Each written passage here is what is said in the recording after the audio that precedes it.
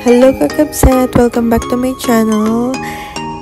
After namin na masyal dyan sa Tortoise Sanctuary or tinatawag na Prison Island. Ayan yung island. And pwede kang mag-snorkeling dyan. Ayan, naglakad-lakad muna kami sa Stone Town.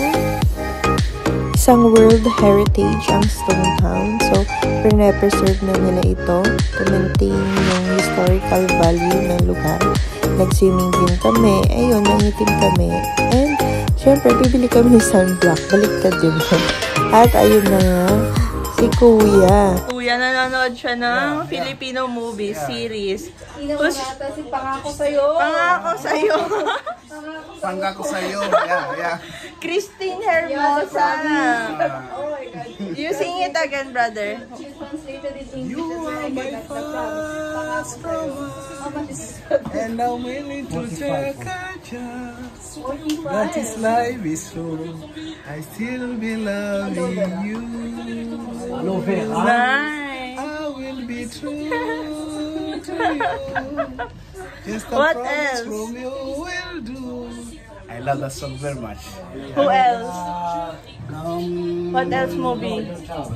Mm, Philippine. Tumatang 45 ka no? 45. Fixed rate? Fixed rate? No, no, no, no. Hagal. You're welcome.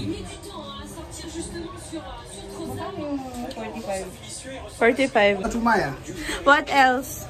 Who else? Do you know? Tan, uwi na kami. Si Uncle. Brother.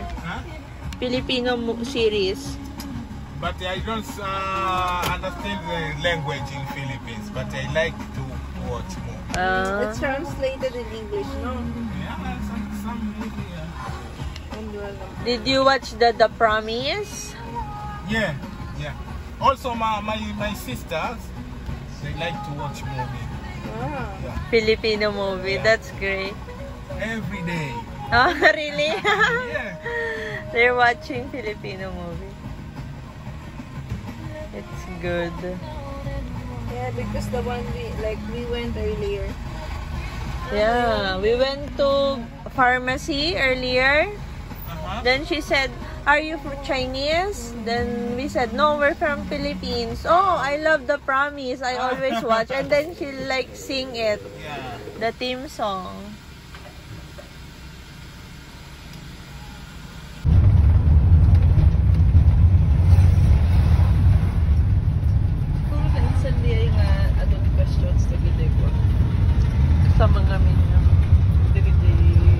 Pati day may sana. We said, no, we're from Philippines. Oh, I love the promise. I always watch. And then she like sing it, Yeah. the theme song.